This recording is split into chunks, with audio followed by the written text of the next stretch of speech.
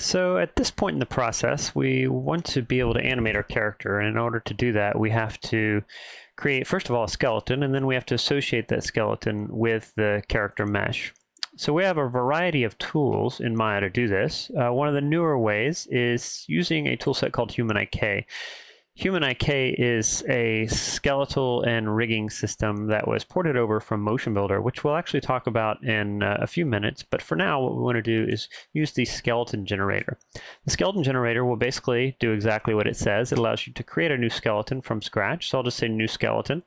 And now you can see that it creates kind of a default humanoid skeleton. I'm actually going to put this in a layer just so that it colors it more vividly so you can see it more clearly. And now begin to modify the creation of the skeleton. So I've got a series of sliders that allow me to control things like, for instance, the number of spine joints. If I want to increase or decrease that, it allows me to control the overall character scale. So I can bump that up or I can bump that down depending on what I'm what I'm trying to do. I can also go in and I can add specific bones. For instance, for the, uh, let's use the arm bones as an example. If I wanted to create an interior roll bone for the upper arms, I just click a button on upper arms and lower arms and it'll automatically insert those extra bones as needed. So I'm going to turn those off for now. We'll go down to the feet. So let's uh, actually reduce the size of my character there a little bit. Let's say that I wanted to begin to align these feet with my existing character. What I can do is I can take the joints now and I can begin to move them and position them kind of relative to my character. And then as soon as I make those edits, all I have to do is say mirror to the other side and it'll automatically apply those to the other side. Now obviously I need to take this a lot farther in order to uh, visually align it with my character, but for the sake of the demonstration I'm actually just going to hide that and I'll bring up a skeleton that I've actually already refined. So now we want to actually take the skeleton and this mesh and associate the two. So you can see if I move the skeleton, I have no association between the two. I do, however, have a simple relationship between the neck joint and the eyeballs and the teeth. That's just a simple hierarchy, a parent-child relationship. But for the mesh, I actually want to create a skin. So I'm actually going to use a handy skinning method called interactive skin, which basically allows you to associate the mesh and provides you with manipulators that allow you to easily control that association. So now I can basically drag and drop and slide these manipulators in order to control the influence of a specific joint. So for instance, if I wanted to come up and begin to edit this leg, you can see here that as I rotate this leg into place, I'm getting, um, it's actually rotated forward, so it's a little easier to see. As I rotate this leg into place, I'm getting a decent deformation, but it's not ideal. So I just switch back over into my interactive manipulation tool, and now I can begin to interactively control the amount of fall off along the length of the joint as well as, or the distance as well as the rate of the fall off across that distance. So now I can go simply go to the next joint, begin to test the behavior of that joint, and then I can switch back into my manipulators, and then I can start to dial those down. You can see there by doing that, I'm actually increasing the amount of fold in the back of the knee. Now I can switch back over to this one, and I can do the same thing within reason. So let's dial that down a little bit, and now I've got a nice crease there along the back of the leg, which I didn't have initially. So I'd basically go in and I would repeat this process for each part of the character. And eventually, I would go back in and I would uh, I would uh, build a rig on top of this character. So we have a variety of ways of doing that. For instance, I could build a my own custom rig using things like like IK handles and um, constraints and whatnot. So for instance, for the leg, I could go in and I could create an IK handle for the leg where I would actually grab the uh, root of the leg, the hip, and drag all the way down to the base of the leg or the ankle, and now I get an IK relationship between those two points. Now I can continue and build that for each of these limbs, and I can really, really customize it to a high degree using uh, using these tools along with, like I said, constraints and expressions. Now, another thing I can do is I can send this character to Motion Builder and I can use Motion Builder's rigging tools and animation tools to kind of automate that process and add existing animation or refine existing animation on this character. And by doing that, I would simply basically select my skeleton and select my mesh, anything that I wanted to export, and I would just come in here, say export selection, and in my option boxes, option, option box rather, I would choose uh, FBX export, do the export selection, And I've got a variety of settings over here that I need to make sure I turn on. If I have animation, I would include that. I also want to include my deform models, my skins. If I have facial animation, I might want to include blend shapes and so on. And ultimately, I would just save this out as an FBX file. We'll call this character.fbx. Save that out, and now I can go into Motion Builder, load this character up, and begin to animate it. So now in Motion Builder, I just simply go to my file browser and I open the character.fbx file and the character that uh, I've previously saved out of Maya along with all of its associated textures as well as its skeleton and skinning information is now brought directly into Motion Builder. So now you can see here that I have indeed a character and I have uh, all the skinning information. So we'll just com uh, compare that. So now what I want to do is basically build a rig that I can begin to work with uh, for animation. So I'm going to go down to my asset browser and under my character nodes, or rather my character settings, I want to drag a character node directly onto my skeleton.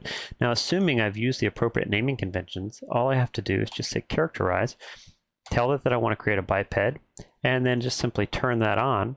And now I have an FKIK rig for my character. Now I'm going to hide the original skeleton and you can see now I have a rig that basically gives me FK control, or rather IK control, as well as FK control so that I can actually go in and animate either directly on the joints or using the end effectors. Now I also have a full body effect so you can see if I pull on the left side of the character it will affect the right side and likewise if I pull on the right side it will affect the left side. I also have the ability to go in and do pinning where I can actually pin the translation and rotation of one side. And now as I pull on the left side, he'll try to maintain that position uh, for his hand and arm on the other side. So beyond that, what I can do now that this is a characterized character is I can bring in other animations. For instance, I can go into uh, the asset browser over here and I can access a library of clips that I may have created um, from other projects, or this could be keyframe animation, mocap animation, doesn't really matter where it came from. But the point is, once it's made available in Motion Builder, I can simply import that into my scene and associate it with my new character. So I'll merge that uh, animation directly into my scene here. And now you'll see when I play this back, I have a simple little walk cycle with a turn at the end. And now I basically want to be able to apply that to my character. So what I'm going to do is I'm going to go into my character list and grab the new character and I'm going to feed in the walk cycle which is called skeleton 6 and now I'll have a direct connection between the two so wherever my uh, walk cycle skeleton is going, my new character is going to follow. And in addition to that, I have the ability to control a variety of different things. For instance, as my character is walking, if I were to change the scale of my character, he's going to cover a larger distance if he's a larger character. If he's a smaller character, let's put that on loop. If he's a smaller character, he's going to cover a shorter distance. So it will actually compensate uh, for the uh, space based on the size of my character. So let's undo that and get back to my default size here. Now another thing you'll notice is that as my character is walking, I basically want to uh, be able to make some corrections to a variety of different things. So you can see there his feet are actually going through the ground. So one thing I can do is I can turn on something called floor contacts. So I'm going to go into my settings here and turn those on. Those are actually already on, but I'm going to switch my character over into a control rig view and put him back into his T-pose. And now what you'll see if I pull in is I've got these little dots here, which I can actually scale up to be uh, more visually uh, kind of recognizable. These dots uh, will allow me to define a boundary for my feet. So I can define an inner sole basically the inner foot. I can also define the outer foot. In addition, I can define kind of the base of the foot where I want the ground to, to be. And I can also define the tip of the toe as well as the ball joint. Actually, those need to be related to one another. So that um, should do it. Let's actually pull that back a little bit and grab these guys and pull those forward a little bit. And now that basically defines kind of a general outline of my foot and how I want that to react to the ground.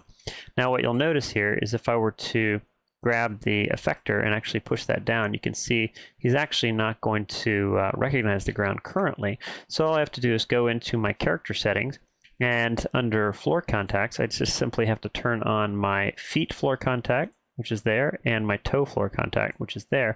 And now when I push through the ground, you can see there that he's actually going to stop. So if I rotate that foot a little bit, you'll see that as I push that down, the toes will hit first, then the ball joint, and then the base of his foot. So now what I want to do is actually have that work with the retarget. So with a live retarget, I'll just simply switch back over into my skeleton. And now as he walks, you can see that he's going to clearly plant his feet on the ground appropriately. So if I turn off, for instance, the floor contacts, just to show you again a before and after, notice how his feet are dipping below the floor. If I turn on my feet and toe contacts, now his feet are planted firmly on the ground. So one other thing I might want to do is actually blend this with another animation. So I'm going to quickly go in and uh, what do what's called a plot. I'm going to transfer the animation from my red skeleton here to my main character. And from there, I'm going to basically have a kind of a direct animation. So instead of a connection between the two, I'm going to have a, an animation directly on my main character, which means that I can actually go into the node editor here. This is kind of a scene graph, and I can just take all the nodes for that skeleton that I brought in, and I can just simply delete those because I don't really need them anymore. Now I'll go back to my main scene, and you can see that indeed all the animation is on my character. So now what I want to do is take this a step further and begin to blend it with, say, another sequence. So I'm going to go into my story tool, which is the nonlinear animation tool, and I'm going to insert a character animation track. And by inserting the character animation track, I can now feed in my new character to this track. And I can take all of his existing animation, the current take of animation, and I can insert that into my timeline. Now you can see that I've got a single clip that basically represents all of my animation. So if I were to grab this clip and go into scale mode, I can actually take that clip, scale it down, and I'm increasing the speed of the animation, or I can go in the opposite direction. I can scale it out, and I'm slowing down the rate of the animation. So you can do broad changes like uh, scaling of time, but you can also go in and you can do comps of other types of animation. So for instance, while he's walking, I may want to add some other upper body animation to this. So I'm going to go in and I'm going to create a subtrack called an override, which will basically allow me to take another animation and essentially override this at different points. So I'm going to take a jump clip and I'm going to drag that into my timeline here. And you can see here, if I stretch that out a little bit, whenever I drag my timeline over that point, my character's suddenly going to disappear off into the distance, and he's going to take on this new animation. So I have this jump animation, and I like the jump, but I don't like the whole jump. I just want to borrow that upper body animation and put it onto my character. So what I'm going to do is I'm going to actually go into my, my mask here, and I'm going to turn off the full body effect, and I'm going to turn on only the upper body effect. So now, as my character is walking, what you'll see is as he walks at that particular point in time, he's going to raise his hands out and stretch them out. Maybe this is right when he's about to breathe some fire. And I can basically go in and I can I can mute that and solo it as well. So if I mute it, you can see I can remove the effect of the clip altogether. Let's actually pull into the front of the character so you can see this. If I mute or unmute that, you can see the effect of the clip clearly. Cool thing is I can take this clip and I can scale it out over time as I need to, and then I can begin to blend it in. So as he maybe makes his turn, right about there is where I want the clip to start. So I'll put it right about here. I'll unmute that and now you can see as he turns, his arms will raise up. And then I can also go in and I can change how that blends in. So right about there, I might want to actually take that clip and begin to blend it in. There we go, got the right handle. So I can take that clip and I can begin to blend it in. And what that's going to do is it's going to allow me to, instead of just turning the clip on immediately, it allows me to start the blend at different points and also change the, the amount of blend at different points. So now as he's doing his turn, say he's breathing fire at this point, now I can begin to blend that out right here as well. So now he's going to fade his arms back in and go right back into the walk. So ultimately what I want to do is take all this and I want to send it back to Maya. So I'm just going to right click on my character track here and what I'm going to do what's called a plot back to the original animation. So I'm going to plot the whole scene to the current take and that will essentially transfer the animation from the story tool back to my character. So now I can come in here and I can delete this and all the animation that I just created with my various clips has now been applied to my character. So there you can see as he turns, he stretches out his arms, breathes some fire, and then turns around and blends right back into the original walk cycle. So now I want to send this back to Maya. So I have everything stored on the skeleton. All I have to do at this point is basically export this back into the FBX file and then merge it back into my Maya scene. So I'll just simply do a save as, and I'll just call this character 2, and we'll simply save that out and go back to Maya and load it back in. So now back in Maya, because the character and skeleton essentially coexist in both Maya and Motion Builder, all I have to do is merge the changes back from Motion Builder into Maya. So I'll just simply go to File Import, and in the options here, if I choose FBX as I import, all I have to do is set it to update scene elements. So instead of adding anything new, all I'm doing is updating the changes, which are the animation changes that I just made. Simply import that now. That'll bring that into my scene. And now you can see here that all the animation that I just worked on previously is indeed in Maya. So now he does his little walk turn. He raises his arms to, to shoot fire out of his mouth right as the planes are coming in. And then if I wanted to, I'd add another animation sequence there where he swipes at the planes and knocks them away. But for now, we'll uh, leave it at that. And we'll talk about uh, some of the other kind of cool effects that we can add to this scene in Maya.